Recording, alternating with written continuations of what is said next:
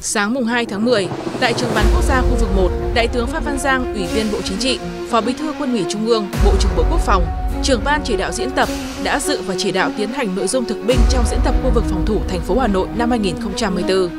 Dự khai mạc diễn tập có các đồng chí Thượng tướng Trịnh Văn Quyết, Bí thư Trung ương Đảng, Ủy viên Thường vụ Quân ủy Trung ương, Chủ nhiệm Tổng cục Chính trị Quân đội Nhân dân Việt Nam,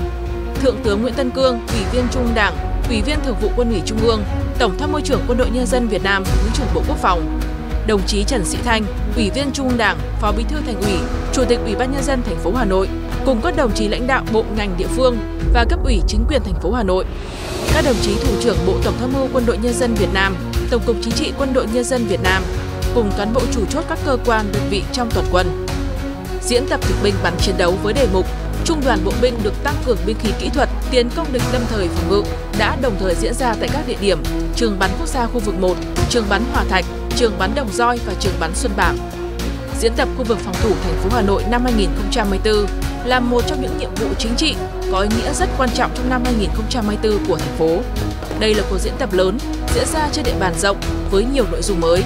Đặc biệt, lần đầu tiên có 28 đầu mối ban bộ ngành cùng tham gia ban chỉ đạo diễn tập chỉ đạo thành phố Hà Nội tiến hành diễn tập, thể hiện sự quan tâm rất lớn của các ban bộ ngành địa phương đối với nhiệm vụ quốc phòng an ninh bảo vệ Tổ quốc. Của diễn tập năm nay có sự tham gia của nhiều thành phần lực lượng,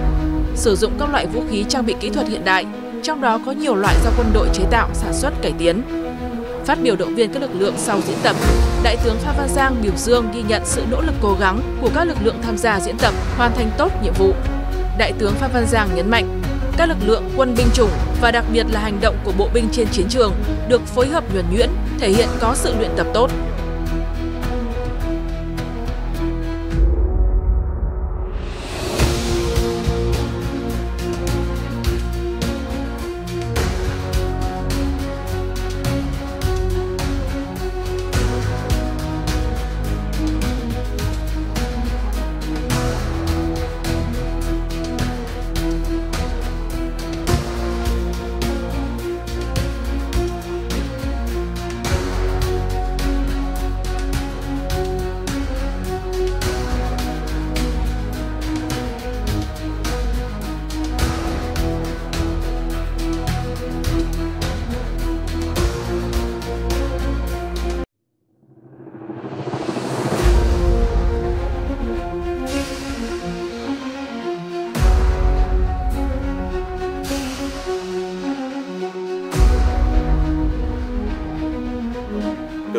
Quân, phòng không, các lực lượng uh, hỏa lực và đặc biệt là hành động của các đồng chí trên chiến trường của chiến sĩ bộ binh đã được phối hợp rất là nhuần nhuyễn. Các đồng chí có thời gian luyện tập rất là tốt để chúng ta bảo đảm an toàn tuyệt đối không chỉ tại thao trường này